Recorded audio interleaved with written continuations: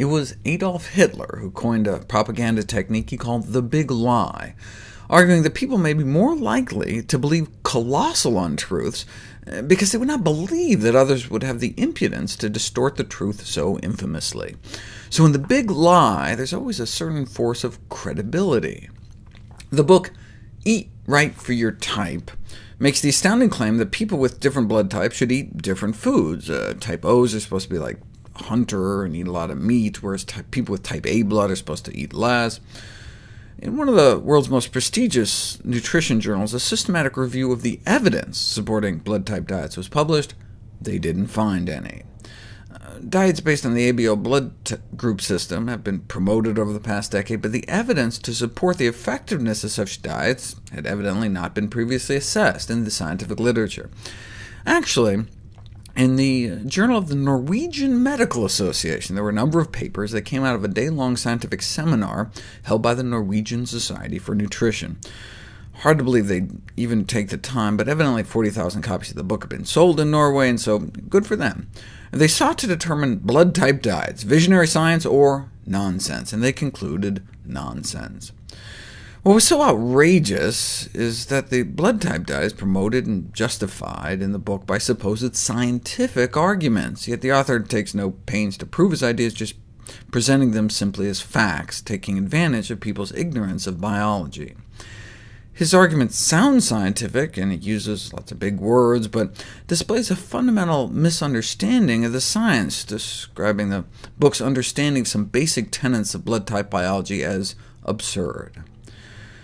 There should be no doubt that had the author practiced in Norway as opposed to Connecticut, he would be in violation of the so-called quack law. The book cites the work of blood-type biochemists, but if you actually ask the actual experts, as scientists, they say, obviously have to keep an open mind, but not so open your brains fall out. It must be stated that an open mind should not extend to some of the non-scientific literature where there are books on the ABO blood type system of pure fantasy. The most recent and incredulous of these claims individuals of each ABO blood type must subscribe to a particular diet. I don't know how researchers have the patience to read these popular press books, but it can lead to an appreciation of the ridiculous aspects of the many ignorant and preposterous claims. So what should the overall assessment of this work be? The nicest thing you can say about the book is, well, it does have a good imagination. Is it any worse than people who believe their fate is determined by the stars, though? Well, yes, because astrologists aren't telling a third of the population to go out and eat organ meats.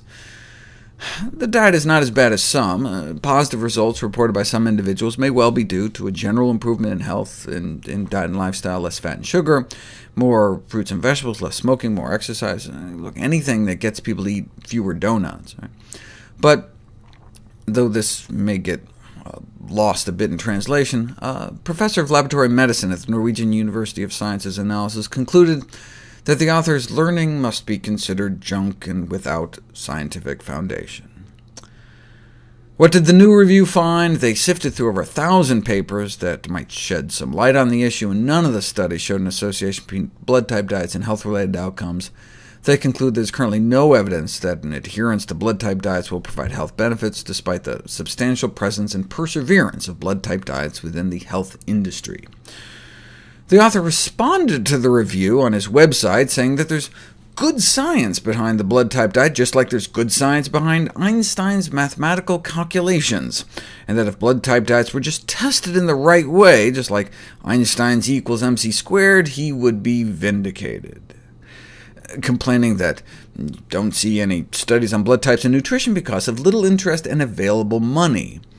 He sold over 7 million books. Why doesn't he fund his own studies? That's what the Atkins Corporation did. And the answer is he has. In 1996, he wrote, I'm beginning the eighth year of a 10-year trial in reproductive cancers using the blood-type diet. By the time I release the results in another two years, I expect to make it scientifically demonstrable that the blood-type diet plays a role in cancer remission. OK, so that would be 1998, and the results? Still not released 16 years later. Clever tactic, though, saying you're just about to publish, banking that no one would actually follow up. So in his sequel, he said he was currently conducting a 12-week randomized double-blind controlled trial implementing the blood type diet to determine its effects on the outcomes of patients with rheumatoid arthritis. That was 10 years ago. As my Norwegian colleagues bemoaned, it is difficult not to perceive the whole thing as a crass fraud.